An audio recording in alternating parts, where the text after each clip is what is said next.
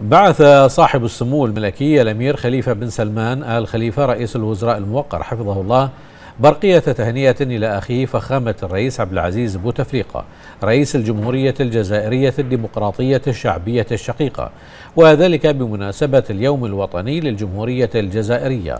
ضمنها سموه صادق تهانيه وتمنياته لفخامته بموفور الصحة والسعادة وللشعب الجزائري الشقيق المزيد من التقدم والرقي.